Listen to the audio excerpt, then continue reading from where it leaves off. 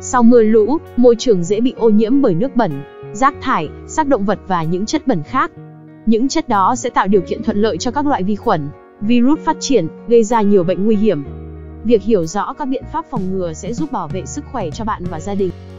Những bệnh phổ biến sau mưa lũ Bệnh tiêu chảy, do tiếp xúc với nước bẩn, ăn thực phẩm hoặc uống nước bị nhiễm khuẩn.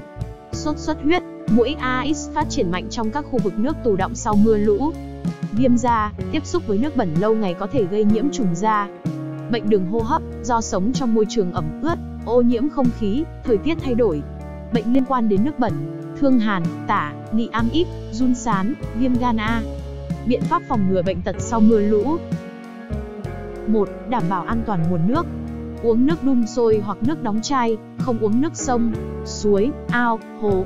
Lọc và khử trùng nước, nếu không có nước sạch, hãy dùng phương pháp lọc và khử trùng nước bằng chloramin B, viên lọc nước hoặc các biện pháp khử trùng khác.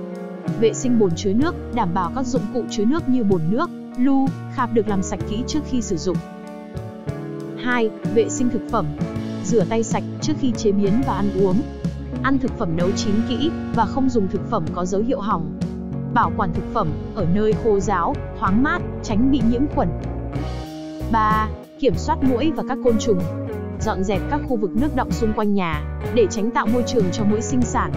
Sử dụng màn ngủ hoặc thuốc chống muỗi để phòng ngừa sốt xuất huyết.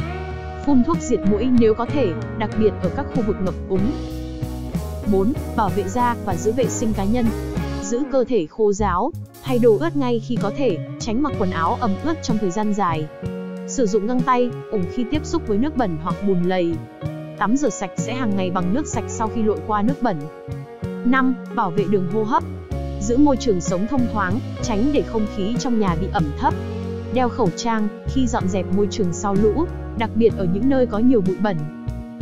Những điều cần lưu ý sau mưa lũ, theo dõi sức khỏe, nếu có triệu chứng bất thường như sốt cao, tiêu chảy kéo dài, phát ban, khó thở, hãy đến cơ sở y tế ngay.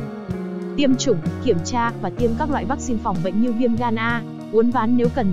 Vệ sinh môi trường, dọn dẹp và khử trùng môi trường sống, không để rác thải và xác động vật gây ô nhiễm. Không tiếp xúc trực tiếp với nước lũ, nước lũ chứa nhiều vi khuẩn và chất thải nguy hiểm. Chăm sóc người già, trẻ em, đây là những nhóm người dễ bị bệnh sau mưa lũ, cần được bảo vệ kỹ lưỡng. Phòng ngừa bệnh sau mưa lũ là việc làm cần thiết để bảo vệ sức khỏe cho bản thân và cộng đồng. Việc duy trì vệ sinh cá nhân, ăn uống hợp vệ sinh và bảo đảm môi trường sống sạch sẽ là những biện pháp cơ bản để giảm nguy cơ mắc bệnh. Luôn theo dõi sức khỏe và tìm kiếm sự hỗ trợ y tế kịp thời nếu có dấu hiệu bệnh.